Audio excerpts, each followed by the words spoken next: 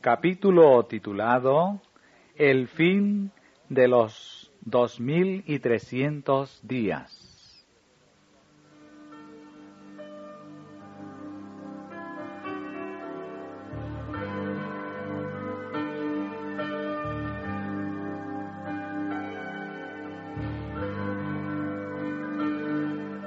Vi un trono y sobre él se sentaban el Padre y el Hijo.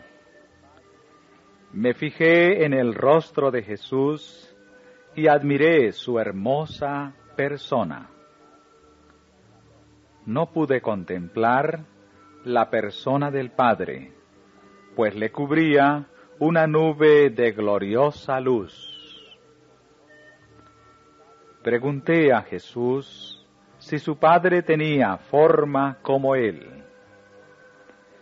Dijo que la tenía, pero que yo no podía contemplarla, porque, dijo, si llegases a contemplar la gloria de su persona, dejarías de existir. Delante del trono vi al pueblo adventista, la iglesia y el mundo. Vi dos compañías, la una postrada ante el trono, profundamente interesada, mientras que la otra no manifestaba interés y permanecía de pie, indiferente. Los que estaban postrados delante del trono elevaban sus oraciones a Dios y miraban a Jesús. Miraba él entonces a su padre y parecía interceder para con él. Una luz se transmitía del Padre al Hijo y de éste a la compañía que oraba. Entonces vi que una luz excesivamente brillante procedía del Padre hacia el Hijo, y desde el Hijo ondeaba sobre el pueblo que estaba delante del trono. Pero pocos recibían esta gran luz. Muchos salían de debajo de ella y la resistían inmediatamente. Otros eran descuidados y no apreciaban la luz, y ésta se alejaba de ellos. Algunos la apreciaban y se acercaban para postrarse con la pequeña compañía que oraba. Esta recibía la luz y se regocijaba en ella, y sus rostros brillaban con su gloria.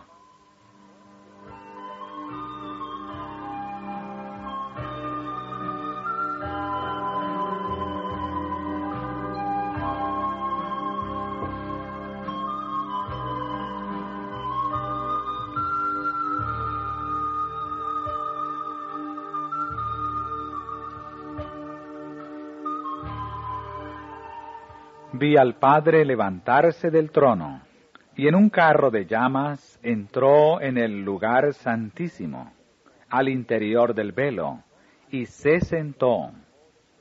Entonces Jesús se levantó del trono, y la mayoría de los que estaban prosternados se levantó con él.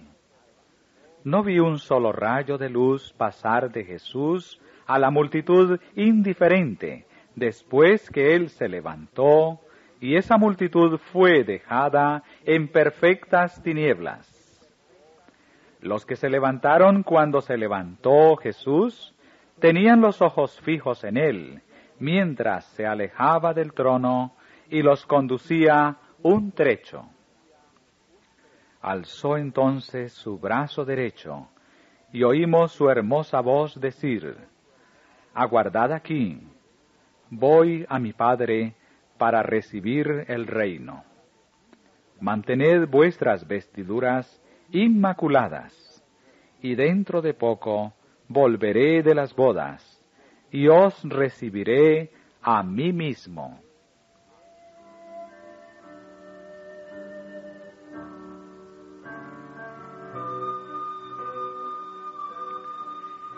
Después de eso, un carro de nubes, cuyas ruedas eran como llamas de fuego, llegó rodeado de ángeles a donde estaba Jesús. Él entró en el carro y fue llevado al lugar santísimo, donde el Padre estaba sentado. Allí contemplé a Jesús, el gran sumo sacerdote, de pie delante del Padre. En la orla de su vestidura había una campana y una granada, luego otra campana y otra granada. Los que se levantaron con Jesús elevaban su fe hacia Él en el lugar santísimo y rogaban, Padre mío, danos tu espíritu.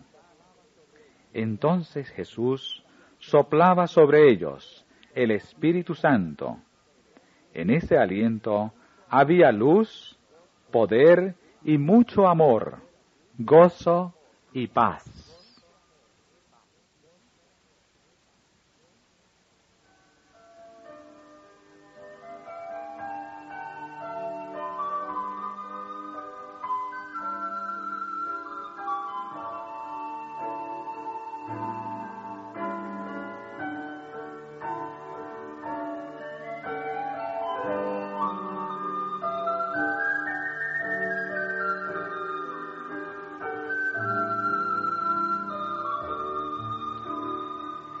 Me di vuelta para mirar la compañía que seguía postrada delante del trono y no sabía que Jesús la había dejado.